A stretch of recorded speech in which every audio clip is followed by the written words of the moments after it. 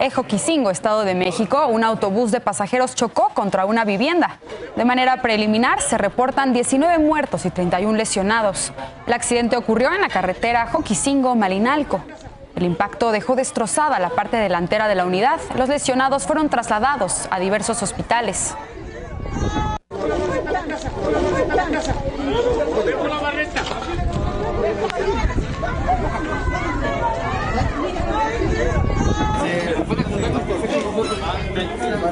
Es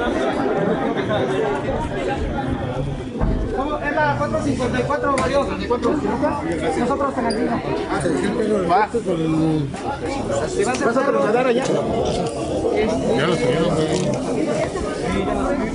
Ambulancia de Chapultepec, ¿qué tienes un nombre? Que muevan su máquina tantito ya nada más para que puedan, puedan pasar. Falta una. Si puede, En sus redes sociales, Alfredo del Mazo, el gobernador del Estado de México, se refirió a este accidente. Escribió que elementos de emergencia de la entidad se encuentran atendiendo a las personas lesionadas. Añadió que instruyó a los titulares de protección civil, seguridad, rescate y salud a que apoyen en todo momento a las familias afectadas.